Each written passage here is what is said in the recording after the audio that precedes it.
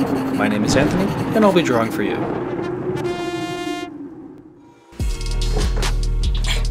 Hey, planet Earth, we meet again. Welcome to Anthony Draws For You, the channel where no idea is too crazy. Today's idea is pretty messed up. To bring you up to speed in case you're new to the channel, here's what I'm working on right now. So this commission has eight characters total, and what my client asked for was, you guessed it, zombie Disney princesses. Uh, a lot of blood and sweat going into this, mostly blood. So here's who's on the chopping block today.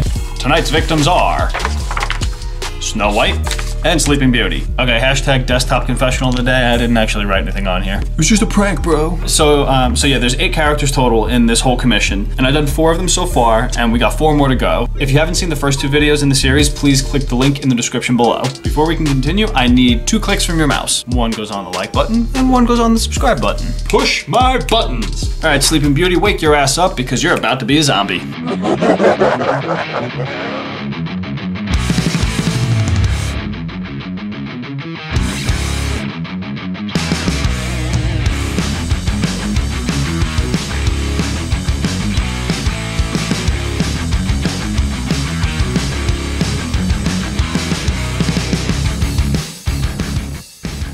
You know, I never thought I'd say this, but in doing all of these princess drawings, looking back through the pages of pop culture history, I'm starting to be more and more fascinated by just little things that I'm noticing. I mean, just to look at the reflection of the times, kind of thing. Like, one of the biggest things that I noticed was the way that they drew the female lead and how their strategy has sort of changed over the years. Because if you compare the character design between Sleeping Beauty and, say, the one that came before her, Cinderella, it was a difference of a couple of years, but look at the drastic change in the style. Now, that's not to say that the style of exaggeration was started by this movie. No, no, no, no, no. I mean, look at the Seven Dwarves that's cartoon exaggeration. Look at the mice in Cinderella, that is cartoon exaggeration. Sleeping Beauty marked a turning point. Prior to this, it's almost as if, like, cartoon exaggeration was not meant for the female lead. It was almost like the element of the divine had to be there.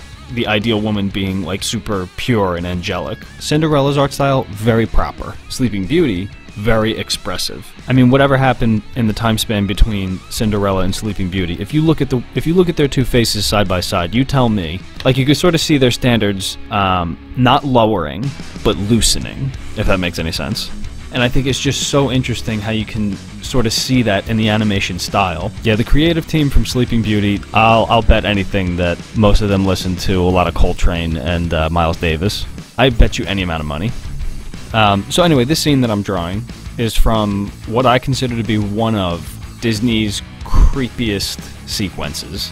This is the part where Aurora, that's actually her name, her name isn't actually Beauty or Sleeping. No, that's just her occupation.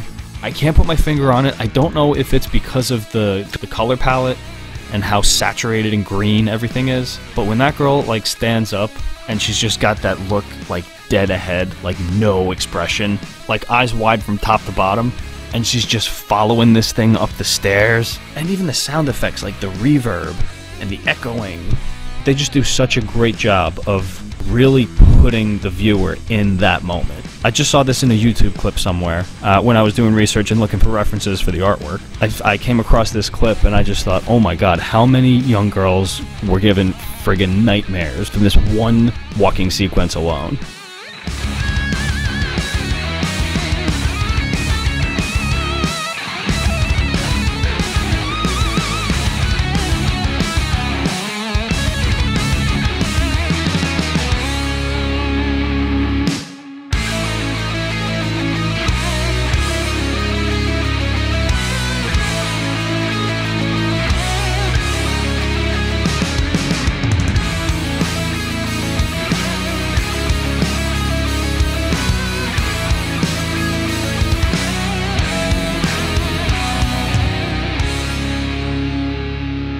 Alright, now it's Snow White's turn.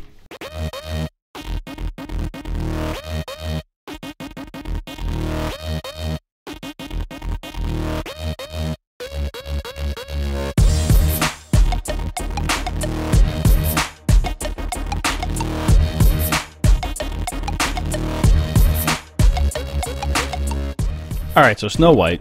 Scenario goes like this. She's a princess. Father's the king, he's on wife number two married to the Disney equivalent of Grandma Kardashian, always looking into the mirror for life's answers. Father dies before the opening credits. Cinderella gets stuck living with the wicked stepmother. That's sorry, that's a lie. Um, no, Snow White gets stuck. Snow White gets stuck living with the the wicked stepmother. How easily manipulated were these kings in all these stories? They all lose their first wives, and then they all get remarried to these complete psychos on the rebound. And then they die, allegedly, of natural causes, leaving the poor girl trapped in the house with Cersei Lannister running the show. So, what exactly was going through the king's head when he and the second wife first started dating? Did he see her check in the mirror every five minutes and go, you know something, I like this one? I like how she doesn't care about anyone but herself. I like how she's always just sort of sitting around. I don't get the feeling like she's gonna make me do too many things. That's it, I'm in love. Here's all my stuff. You total stranger who my daughter clearly does not trust or like. So, anyway, for years, the queen is the fairest of them all. She's the hottest slice of pizza around, so says her talking mirror that nobody else has ever seen.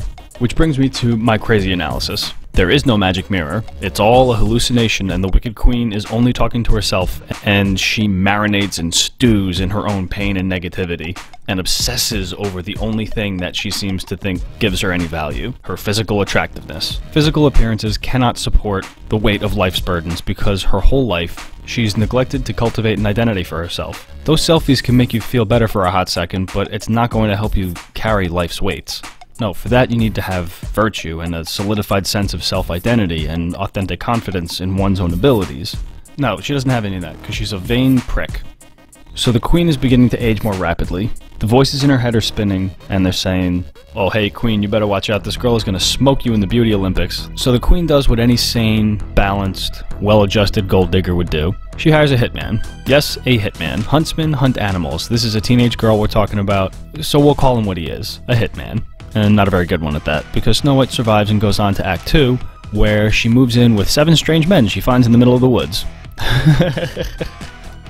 yeah, anyway, it's not long before Kris Jenner comes back to give Snow White the poison apple and finish the job that the huntsman was supposed to carry out. But see, here's the thing this poison apple is only sorta kinda poison. It must be the same poison that Maleficent put on that spindle that made Sleeping Beauty go into that same half sleep, half death paralysis, because it's the same damn plot just once they should have the prince like on his way to kiss the sleeping princess and break whatever the curse is. But then, like an EMT dwarf, like bursts in the door saying, "No, you're supposed to do compressions. This isn't a makeout session. We're trying to revive her, you idiot." Regarding the artwork, though, this one gave me some very much needed practice in drawing blood and liquids.